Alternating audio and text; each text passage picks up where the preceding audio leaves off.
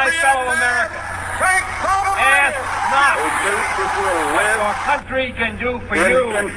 Ask what you can do for your country. You have stated that during each of your American history courses you are running an intellectual boot camp. What do you mean by this? Well, of course, you know that's a joke. Uh, because I'm not very militaristic. And I don't want to be an authority figure. And I don't want them to think in lockstep. My job isn't to make them uh, conformist thinkers, which boot camp implies. Everybody gets a short haircut now, put on the same uniform, and march around the parade ground. In fact, I'm trying to achieve the opposite.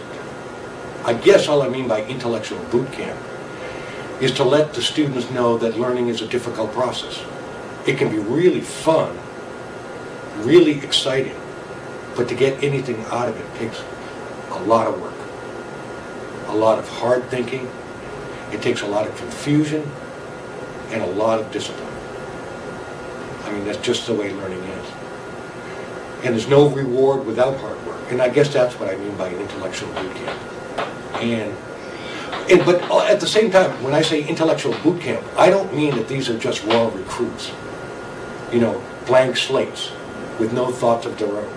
And that I'm somehow going to fill them up like a drill sergeant uh, with a military code or something. I mean, these are thinking, aware, smart people. They wouldn't be a Western if they weren't.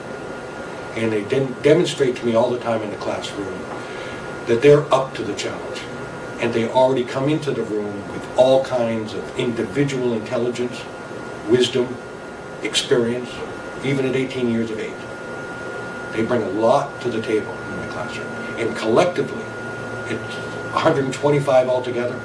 The amount of collective knowledge and wisdom that we all have in that room is incredible. But then college is about refining that wisdom and that intelligence. To be disciplined in your approach about knowledge and learning.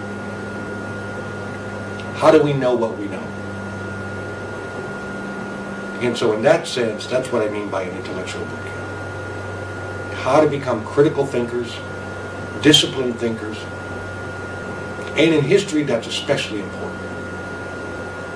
I think history is the hardest subject in the world. Chemistry, physics, piece of cake, although I can't do it. I'm not inclined that way. But history is very difficult because it's so much of a philosophy. It's not a science and recreating the past or understanding the past, going back to the past and knowing it for what it was is not an easy task. It's a complicated place.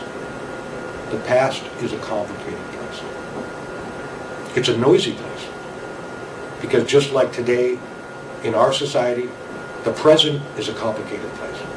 How do we know what we know about the present? How do we define what it is? Everybody has a perspective on it. The past is no different. There's multiple voices. There is no such thing as one past, one truth of what the past meant. So we have to put together all those noisy voices and understand it. And that takes interpretation. That takes then that takes critical thinking to make sense out of it. So when I say intellectual boot camp, um, that's just fooling around. I'm just joking.